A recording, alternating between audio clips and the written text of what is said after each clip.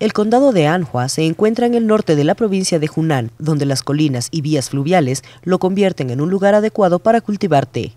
Con una temperatura promedio anual de 16.2 grados centígrados y una humedad relativa promedio anual del 81%, Anhua cumple con todos los requisitos para el cultivo del té. Por eso, desde la dinastía Tang, el té negro de Anhua se convirtió en el tributo imperial. Por lo general, los productores recogen las hojas alrededor del festival Qingming y las pasan por un proceso para deshidratarlas.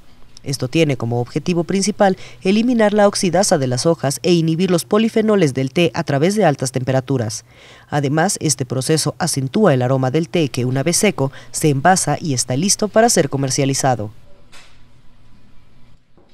Con información de la oficina en Hunan, China, Noticias Xinhua.